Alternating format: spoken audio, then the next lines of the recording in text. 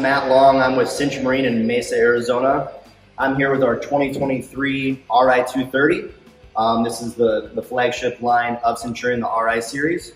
Um, as you notice on this one, actually is equipped with the extreme trailer, so you have your and the boarding ladder on front, uh, which makes it really easy to get in and out of the boat when it's on the trailer. Um, this color scheme on this this particular boat is brilliant sky metal flake and silver metal flake. It's really pretty. You notice all the anodized, you know, little details on this boat makes it makes it pretty pretty eye catching. Um, all the RI series do come with your standard drop zone tower, so that is a power tower that folds forward.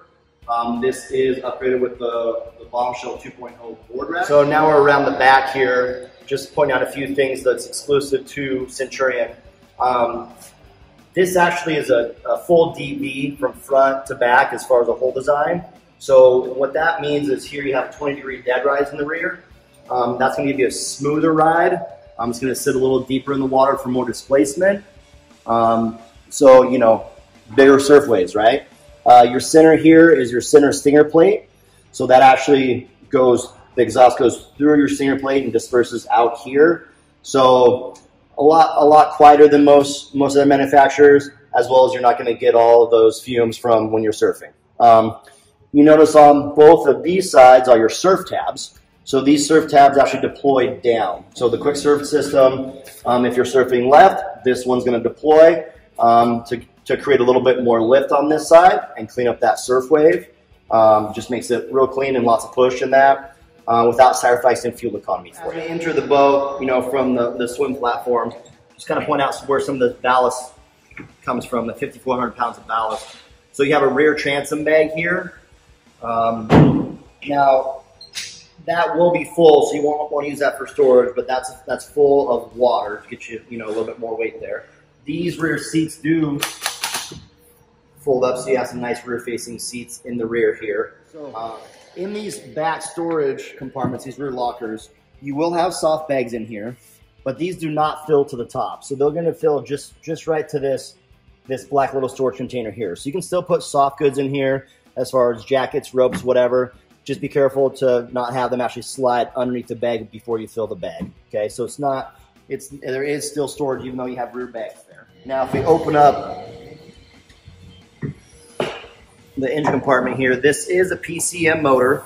Um, PCM, it's a GM block, so it's actually, this is a 6.2 liter uh, ZZ6, 450 horse, and actually uh, 465 pounds of torque.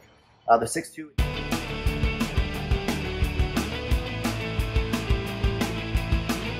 So all the RIs actually do come standard with your slide seat here. Um, so this will slide actually a couple different positions. You can drop it wherever you want to.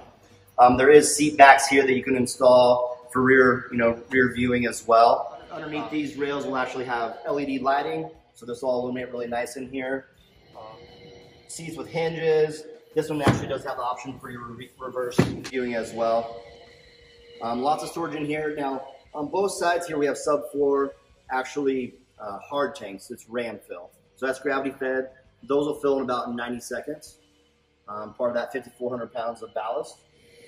I use this down here for, for storing, you know, large boards, whatever you can put, you can put three or four boards in there. This is equipped with that extra uh, table that can mount on that seat back as well.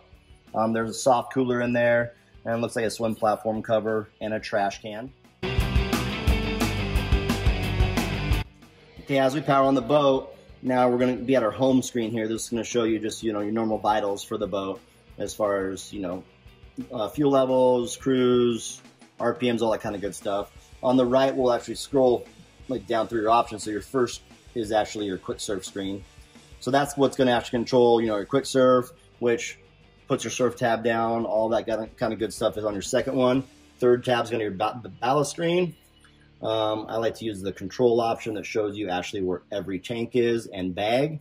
Um, you can fill all, drain all, or they also, of course, you have your you know, your rider profile. So you just push ProSurf left, ProSurf right, activate, and it sets everything for you. So that's a real nice feature for, for new users. One down here is going to be all of your um, accessories. So you have, you know, navigation lights, docking lights, um, exterior lights, uh, anchor light obviously up top, interior lights. So now you're gonna have you know all LED lights interior, underwater rear lamp, rear lights as well. Uh, next, gonna actually have your stereo controls.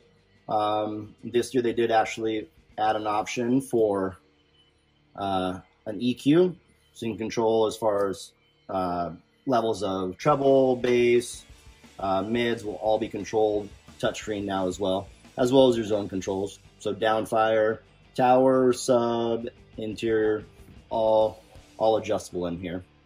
Uh, the last one down here is going to be uh, obviously we're inside, so you're not going to get a signal, but it's your maps. So that'll be all your GPS in there.